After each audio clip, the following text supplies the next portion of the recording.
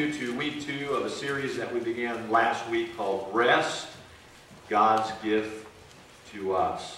Last week we kicked off this series by looking at the invitation that Jesus offers all of us. It's an invitation to come to Him and find spiritual rest. It's an invitation to take His yoke and find emotional rest. And finally, it's an invitation to learn that His yoke is easy.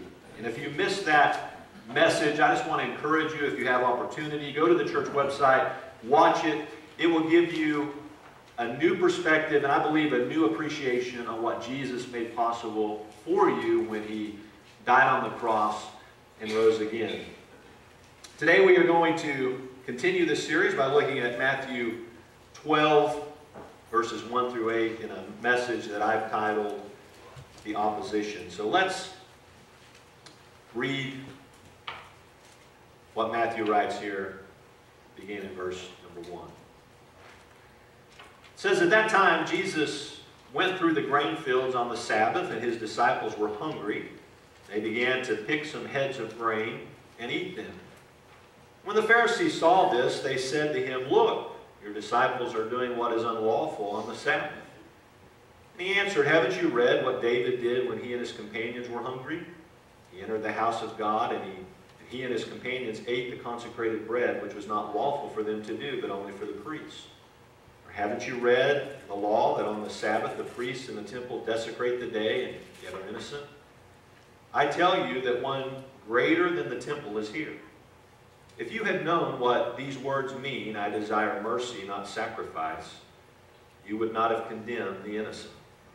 For the Son of Man is Lord of the Sabbath. One of the things that Jesus faced while he was on this earth was opposition. Nearly every time that Jesus did something, it was met with disapproval, it was met with resistance by a group of religious leaders known as the Pharisees. And the word Pharisee itself means separated. And so this was a group of men who saw themselves as set apart from all other Jews because of the way that they kept the law. And as we're going to see today, the reality is that they really didn't keep the law. What they kept was their traditions and their interpretations of the law. When you read through the New Testament, you discover that Jesus rebuked the Pharisees more than he rebuked anyone else. And, I mean, just read the New Testament sometime and just try to make a conscious effort to, to really focus in on how many times Jesus rebuked the Pharisees. And you will see that he rebuked them more than he rebuked anyone else. And let me just share with you just uh, a couple of verses that show this uh, rebuke by Jesus to the Pharisees. Uh, Matthew 23, 27, Jesus had this to say to the Pharisees. He says, Woe to you, teachers of the law and Pharisees, you hypocrites! You are like whitewashed tombs which look beautiful on the outside, but on the inside are full of dead men's bones and everything unclean. Now, how many of you would want Jesus to say that about you? To call you a hypocrite and to say that you're like a whitewashed tomb. Jesus calls the Pharisees hypocrites. He calls them whitewashed tombs. And then uh, if you go down just a few verses in verse 33 of Matthew 23, he calls them, listen to this, snakes and a brood of vipers. Now, if the Pharisees were keepers of the law of God, if in fact they actually kept the law of God like God wanted them to keep it, Jesus wouldn't have rebuked them in such a way. I mean, he wouldn't call them snakes, he wouldn't call them a brood of vipers, he wouldn't call them hypocrites, he wouldn't call them whitewashed tombs. He would have commended them, but instead he condemned them. And so Jesus' greatest opposition came from religious people. And I believe that Jesus' greatest opposition today still comes from religious people. You know, so many times we think that the greatest opposition that Jesus faces is from sinners and sinful people and people who are, don't know God and have no concept of God. And, and you know, the reality is, I think so many times the greatest opposition that, that Jesus faces is actually from people who go to church. That's how it was back then, and, and I don't think much has changed today. People who have a form of godliness but deny its power. People who oppose the will of God by placing their traditions as equal or as higher than the will of God and defending them as such. Here in Matthew 12, we find such opposition by the Pharisees regarding the Sabbath. Look again what Matthew writes in verses 1 and 2. Matthew says, At, at that time, Jesus went through the, the grain fields on the Sabbath. His disciples were hungry. And he began to pick some heads of grain and eat them. And when the Pharisees saw this, they couldn't believe it. They said, Look, just look. Your disciples are doing what is unlawful on the Sabbath. Now, that's quite an accusation, isn't it? To tell Jesus, the Son of God, that his followers are doing something that opposes the law of God, that's really quite an accusation. Well, let's go back to the original command that God gave concerning the Sabbath. You'll find it in Exodus 20. It's the fourth commandment found in the Ten Commandments. And this is what it actually says. Remember the Sabbath day by keeping it holy. Six days you shall labor and do all your work, but the seventh day is a Sabbath to the Lord your God. On it you shall not do any work. Now, that's a pretty simple command. Work six days, rest one. Now, the idea is that on this day of rest, one would cease from what they had been doing the previous six days. And so, in other words, it would, it would be a day where one would change their, their routine in order to be renewed and, and refreshed. You know, sometimes it's just good to get out of the routine of things, isn't it? And God knows that better than anyone. He knows that we're just dust. And so he knows that we can't go seven days doing the same thing over and over and over again, or it's just not going to be good for us. And so he says, six days I want you to rest, but on the seventh day you need to change your you need to change your routine. You need to change it. And so he sets forth this Sabbath day. Well, the, Pharisees, they took this one simple command of God. And again, it was just a really simple command to rest. And they added so many regulations to it that it became a heavy burden for the Jews. You see, the Pharisees, what they, what they began to do is they began to define what was considered work and what wasn't. The Talmud, the book of Jewish traditions, has 24 chapters. 24 long chapters devoted to what the Jews could and couldn't do on the Sabbath. And let me just, let me just share a few with you.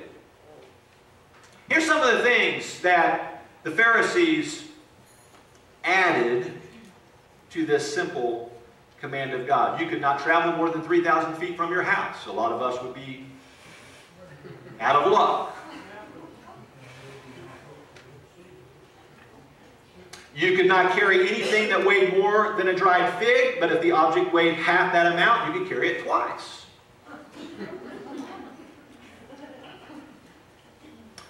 You couldn't carry a needle for fear you might sew something. Wouldn't have that problem. Listen to this one. You couldn't take a bath because you might accidentally splash water on the floor and that would be washing the floor. Women couldn't look in the mirror because they might pull out a gray hair. You can't make this stuff up. I'm telling you. This is, this is. You think that one's funny? Listen to this one. Some of you are just, uh, woo. False teeth could not be worn because they exceeded the weight limit for carrying burdens.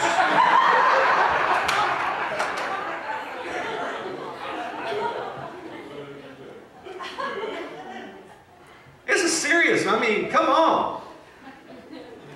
And there were many more like that. I mean, the Pharisees, they had so many Sabbath day restrictions. And to us, we sit here and we're like, that's, that's just ridiculous. I'm not going to ask you, but I know some of you have got your false teeth in today, right? You would have been able to do that. Huh? How many of you checked to see if you had any gray hairs? For you. Huh? Okay. And so by adding all these rules, all these regulations to the Sabbath, the Pharisees, you know what they did? They actually made the Jews work harder at trying not to work on the Sabbath than they did at their jobs the other six days of the week. See, religion takes what God has made simple and makes it complex. That's what religion does. And in doing so, it doesn't leave any room for rest. And I'm really convinced that the reason so many people walk away from the church is because they have been worn out by religion. Because it's a heavy burden to try to carry around and try to follow. And so the Pharisees, they, they accuse Jesus' disciples of doing something unlawful on the Sabbath when they see them pick some heads of grain and eat them. Now, here's my question. What were the Pharisees doing in the grain field anyway? Remember, by their own rules and by their own regulations, they weren't supposed to travel any more than 3,000 feet from their house. Now do you see why Jesus called them hypocrites? You see, the disciples weren't in any way doing anything unlawful. They were doing what was permissible by Jesus Christ, the Lord of the Sabbath. And so in response to the Pharisees' accusation, Jesus reveals three important truths about the Sabbath, and I want to share them with you. Number one, the Sabbath was not intended to restrict necessities of life.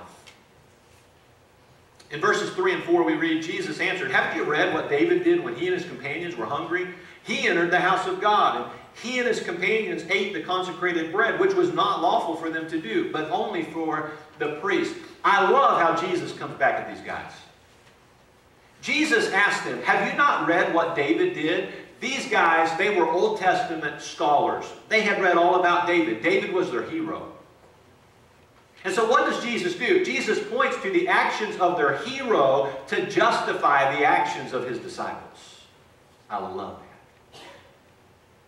Jesus, he refers the Pharisees back to a day when David and his companions were fleeing from Saul. They had come to the town of Nob and they, they're hungry.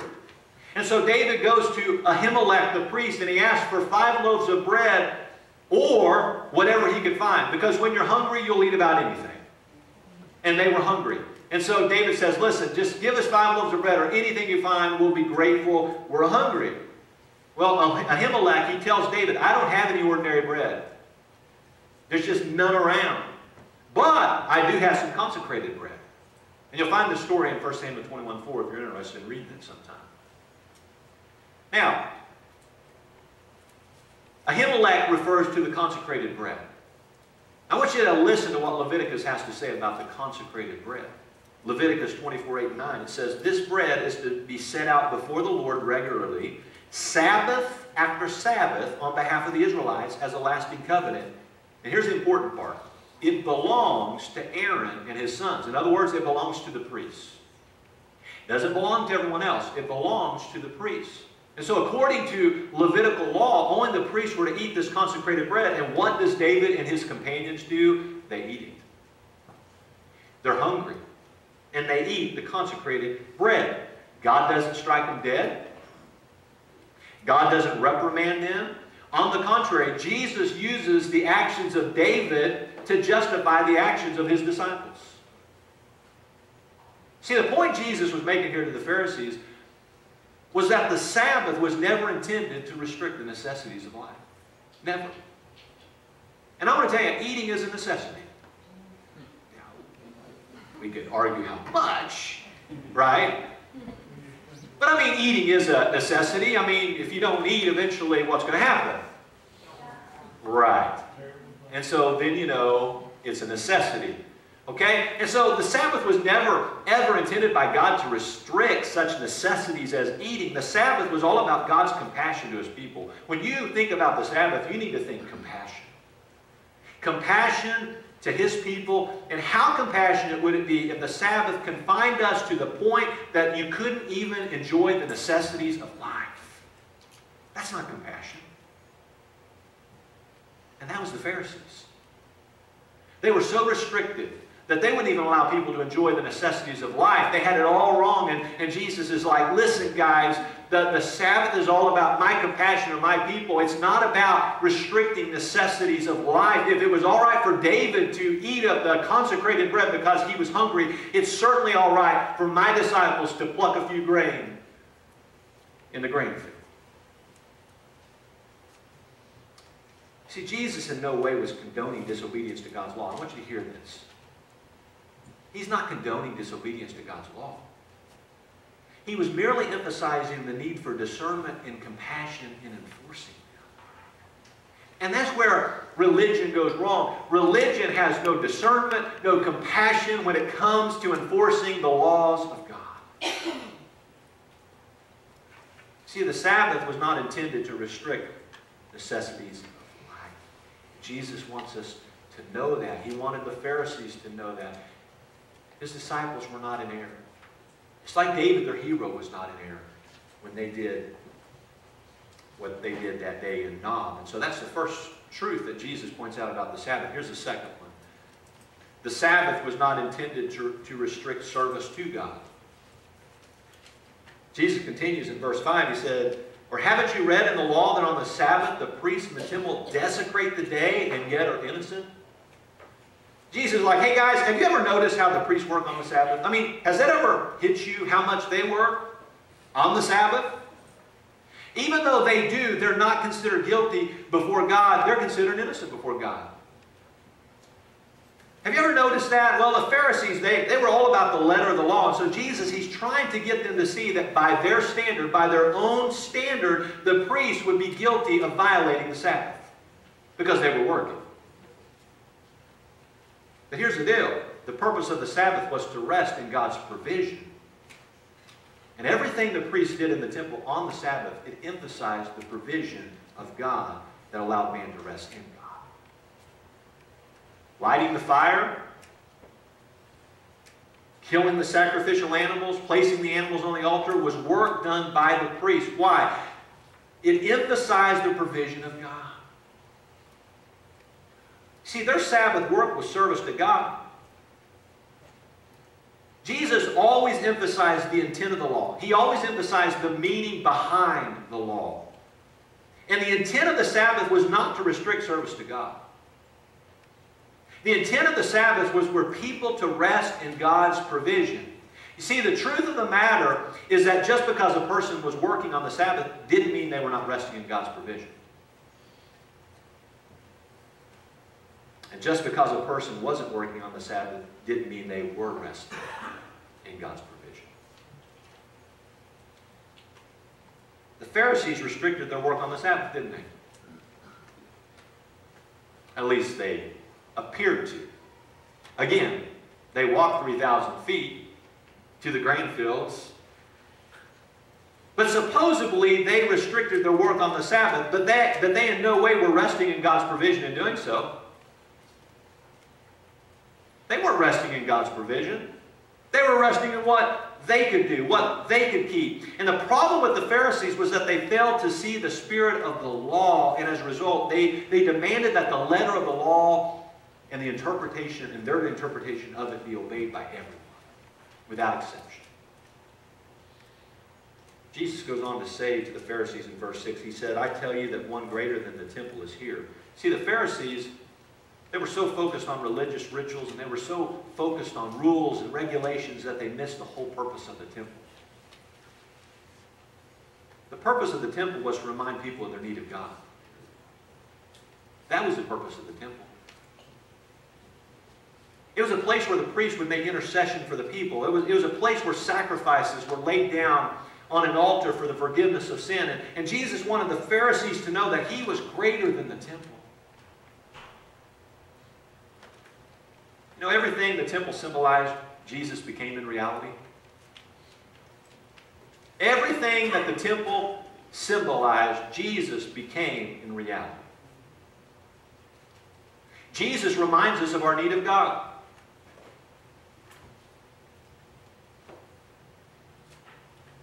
Jesus is the one we worship. He, he's the great high priest that intercedes for us. Jesus is the one that laid down his life on the altar of the cross for the forgiveness of sins. Everything done in the temple pointed to the one greater than the temple, Jesus Christ.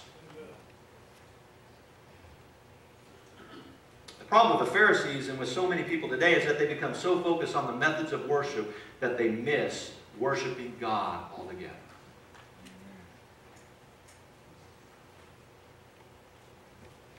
I wonder how often that happens with us. See, everything we do when we come to this place should lead us to worship Jesus. Everything. But I'm afraid sometimes we get so focused on our methods of worship and our traditions of worship that we miss out on worshiping Jesus altogether. And that was the Pharisees.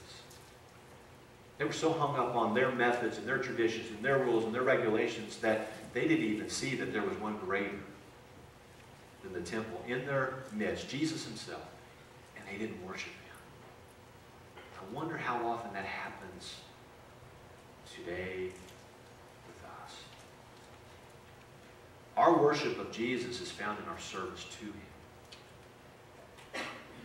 Sabbath was not intended to restrict necessity of life. The Sabbath was not intended to restrict service to God. And finally, the Sabbath was not intended to restrict mercy. Jesus continues in verse 7. He said, If you had known what these words mean, I desire mercy, not sacrifice, you would not have condemned the innocent. Jesus is referencing Hosea 6 6. It was a scripture the Pharisees knew well. Again, these guys were Old Testament scholars. But it was obvious by their condemnation of Jesus' disciples that they didn't understand what it meant. Let me, let me read to you what it says. Hosea 6 6. It says, For I desire mercy, not sacrifice, and acknowledgement of God rather than burnt offerings. See, the manner in which the Pharisees observed the Sabbath was it was sacrifice. I mean, they sacrificed their normal routine. They gave up all kinds of things in the name of the Sabbath. They had the whole sacrifice thing down. But the only problem is that Jesus desired something greater than sacrifice, and that was mercy. And while the disciples may not have had the whole sacrifice thing down like the Pharisees required, they did have the whole mercy thing down as God desired. And so in the eyes of God, the disciples were innocent while the Pharisees were guilty. See, at the end of the day, here's what we have to remember. God always looks at the heart when considering man's innocent or guilty. Always. You know, we can do the right thing with the wrong motive in our heart. We can do the, we can do the right thing with the wrong motive. And if we do the right thing with the wrong motive in our heart, guess how God sees us? Anybody want to take a guess how God sees it? He sees us as guilty. You see, if doing the right thing was the only thing that God considered, the Pharisees would have been commended by Jesus, but instead they were condemned by Jesus. Why? Because God always judges according to the desires and motives of the heart, and Jesus knew the Pharisees' hearts were far from God. The disciples had done something the Pharisees hadn't. They had acknowledged Jesus as Lord in their hearts, and one of the ways that it was evident was by the mercy that they showed others. Remember that the Sabbath was all about God's compassion to man. You'll hear me say that over and over again. That's what it was about, God's compassion to man. And if the Sabbath is all about God's compassion, then it only makes sense that one of the things man would show others on the Sabbath would be mercy, compassion toward those suffering. You see, showing kindness toward those in suffering and a desire to help them was a good and right thing to do any of the day, any day of the week, but particularly on the Sabbath day of the week. And Jesus, he wanted the Pharisees to know the desire of his heart above all things was mercy. They didn't have it, but the disciples did. I mean, really, honestly, and truly, at the end of the day, so we drive to church and we come to church on Sunday morning. What if somebody needs us to show mercy to them when we leave this place? And we say, well, I went to church, and, and that's good, but I don't have to show mercy. What does God say? He said, well, those people sacrificed. I mean, they gave up you know, two hours, two and a half hours, three hours of their time to come to church on Sunday morning, but they didn't show mercy to someone who needed to have, to have mercy shown to them. You know what God says? I desire mercy above sacrifice. We've got to get that right. Got to get it right. The disciples had it right. The Pharisees didn't. I want to be more like the disciples and less like the Pharisees. How about you? So the Sabbath was not intended to restrict mercy. Now, in conclusion, and when you hear me saying in conclusion, you're getting very, very excited, but I want you to know I still have a few more things to say in conclusion, all right? but in conclusion, I just want to say a few words about the Sabbath as it relates to us. See, the reality is that we live in the age of grace, and we don't live under the age of the law. And as a result, the Sabbath laws are not something we base our lives around.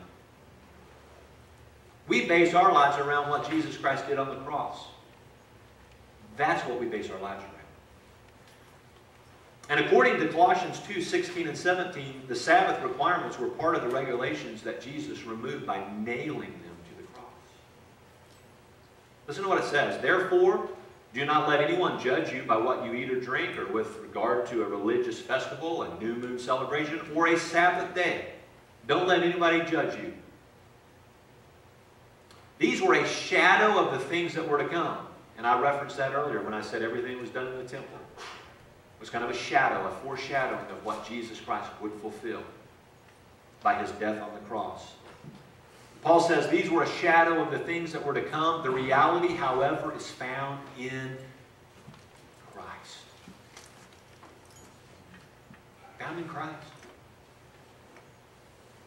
Today we need to understand that when we rest in Jesus Christ for our salvation, we fulfill the Sabbath requirement. It's fulfilled when we rest in Jesus Christ for our salvation. Jesus said he didn't come to do away with the law of Moses, but that he came to fulfill it. So when we rest in, his, in the finished work of Jesus Christ on the cross for our salvation, when we do that, the Sabbath law, according to the Bible, the Sabbath law is fulfilled. Now I realize that some of you might believe that Sunday's our Sabbath. It's not. It's not. Nowhere in the New Testament will you find the first day of the week being designated as the Sabbath. You will not find those words. In fact, I want you to hear this. In fact, during the first three centuries of Christianity, there is no record that Christians treated Sunday like the Jewish Sabbath. And then Constantine, he did something. Constantine legalized Christianity in 313 AD. And he really imposed more pagan influence on Christianity than Christian influence on paganism. For example, in the year 321 AD, Constantine, he issued an edict, and this is what it said. Now listen to this. This was Constantine.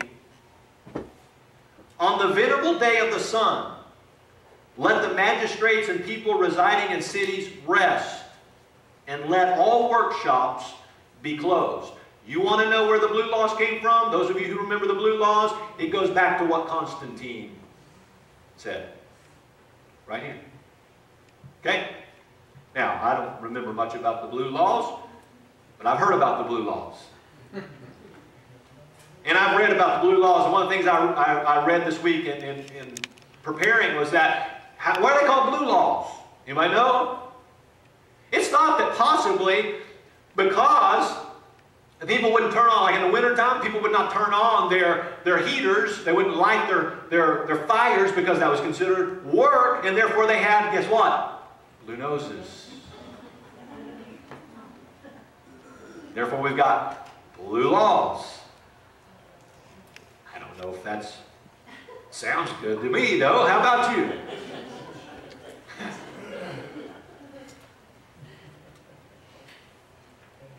But I want you to hear this today. The very name Sunday,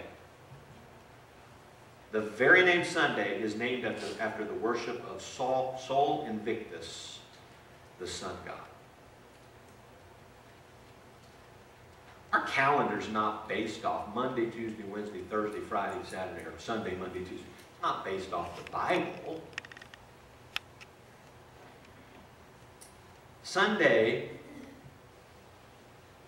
according to Constantine, was to be a day where we set aside what we normally do and we, we, we rest and we have our workshops closed.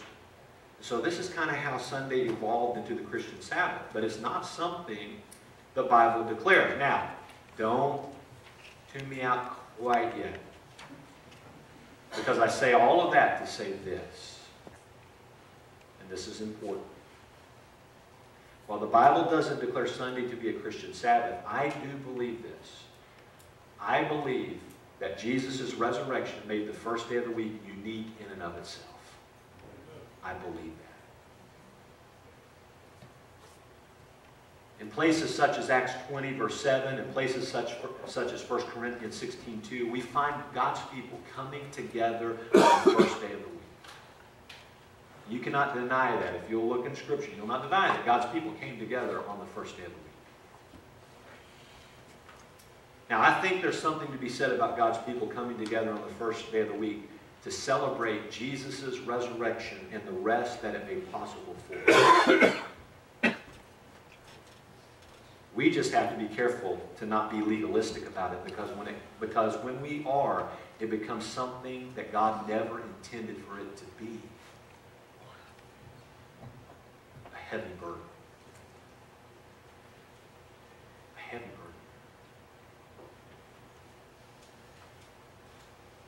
Again, I think sometimes the reason some people leave organized religion, Christianity, whatever you want to call it, is because they feel such a heavy burden because we turn things into something God never intended for them to be.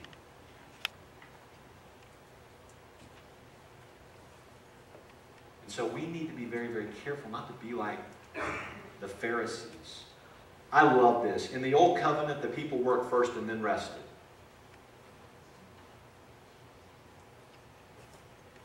And that's why the Sabbath was the last day of the week. In the New Covenant, however, is just the opposite.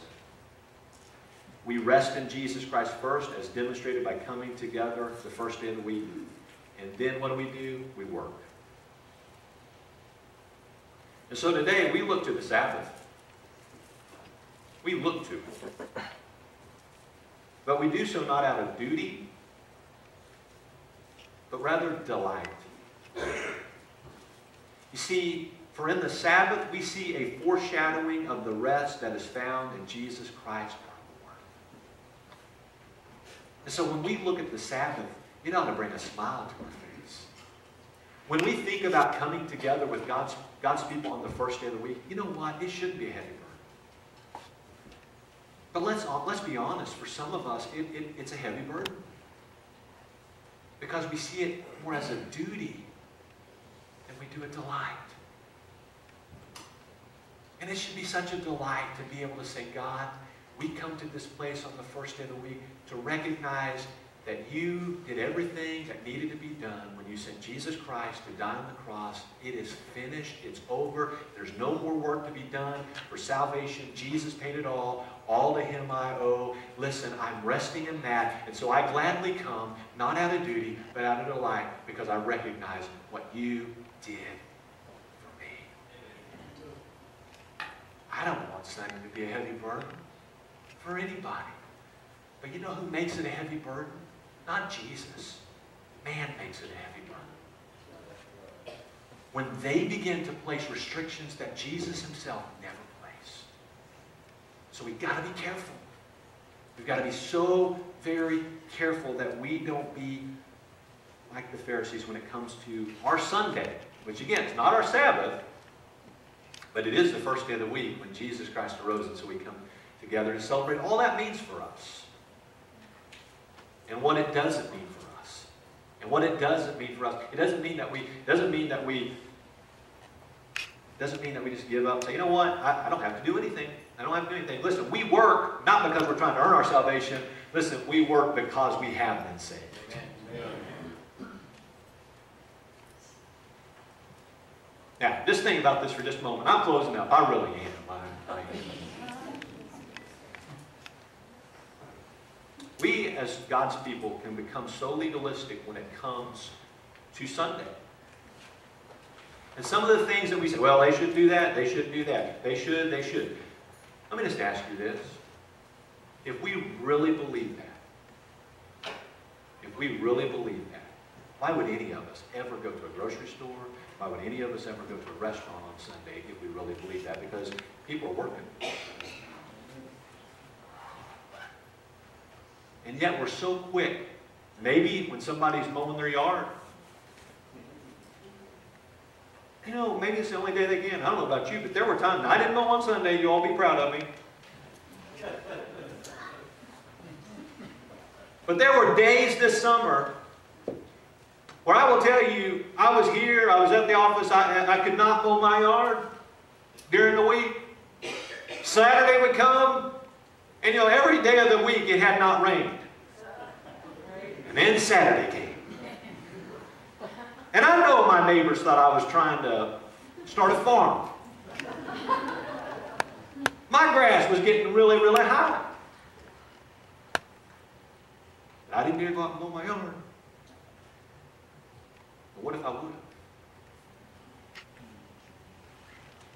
I'm just saying, we got to be more careful about those kind of things because God always looks at our heart.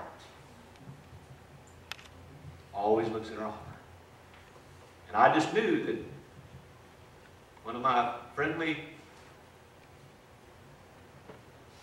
neighbors would just said, Hey, what are you doing mowing your yard, neighbor? well, you didn't mow it for me, neighbor.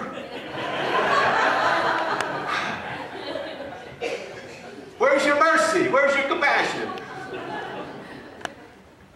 All right. Every head bowed, every eye closed. Nobody looking around. Listen. Jesus gave us this day of rest to get out of the routine of things, to change things up so that we can be renewed and refreshed and just remember what Jesus did for us when he died on the cross. And so if you're here today and you have never entered into that spiritual rest, you've never turned in repentance and placed your faith and trust in Jesus Christ, listen, I want to invite you to do that during this time of invitation. I'm going to be down here, and if you've never made that decision, would you just come? Would you just take me by the hand and say, Travis, I need to be saved. I've never trusted in Jesus Christ. Maybe today you just need to come and lay down your heavy burden. You've been trying to live up to all the rules and restrictions of religion, and it's wore you out. You just need to say, Jesus, you know my heart, and I'm just resting in you today. Listen, whatever decision you need to make, I want to invite you to do it. Let's just be, let's be doers of the word today and not just hearers of the word. If you have a decision relating to this church, maybe you want to come and be a part of this family, we'd love to have you. Whatever decision the Lord is impressing upon you come in just a few moments. Father, thank you so much for your word. I thank you. I thank you that you gave us a day of rest. I thank you for what it means. And I thank you that it's all about compassion, how we find our rest in Jesus. That we don't have to continue to strive because we can just trust in you. And even if we take one day off, we don't have to worry because you've been, you've promised that you're going to be faithful to us. We don't have to strive and strive and strive because you provide. And I just thank you, Father, for the freedom that comes when we truly understand the rest that we have in Jesus. And so I pray for everyone here today who's carrying around a heavy burden. Not because you put it on, but because so many times we, as your people, put heavy burdens on other people. So help us today not to be that. Help us to find rest. For that one who's struggling today, they know that they need to turn to repentance and place their faith and trust in Jesus. I pray that today would be their day of salvation for your glory. Thank you for everyone that's here. I pray that each one would be able to walk away encouraged today of the rest that they have in Jesus. And we thank you in Jesus' name. Amen. If you'll stand as we sing, any decision, I invite you to come right now.